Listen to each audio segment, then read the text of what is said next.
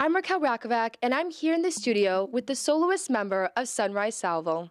So, Jason, how did you get started into music? Uh, I started about uh, 10 years ago. I just picked up a guitar and started hacking away. I've never had lessons or anything like that, but um, over the years I just worked at it and eventually a good sound came out. Your words as a weapon leave scars on my psyche, the stars in the headlines dance in my head nightly.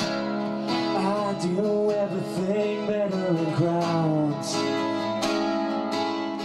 And why did you decide to take a soloist career in music?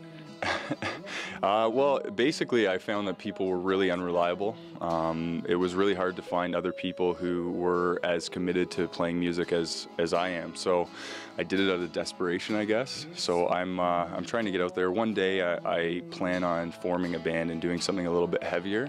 But uh, until then, uh, it's the J Show.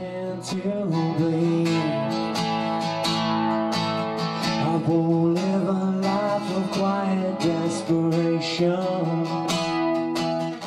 And I know you moved here three years ago from Niagara Falls to Hamilton. What do you think about the music scene here? Hamilton is really, really bustling with music. Um, the View magazine, if you uh, if you look through the classifieds there, they always have open mics that are listed. And I basically just went from one venue to the next, and I realized that between the poetry readings, um, uh, live theater shows, everything like that. Uh, Hamilton is really, really um, where it's at right now with music. There's so many different people that are, are going out there and they're promoting Hamilton, and it's, in my opinion, it's the best place to be.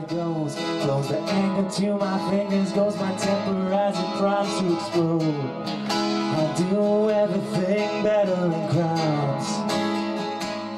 you're looking to check out Jason Lambert's music, he does have an EP coming out in December 2009. And also check out the Casbah Lounge on Tuesday nights. For Hamilton Life, I'm Raquel Rakovac.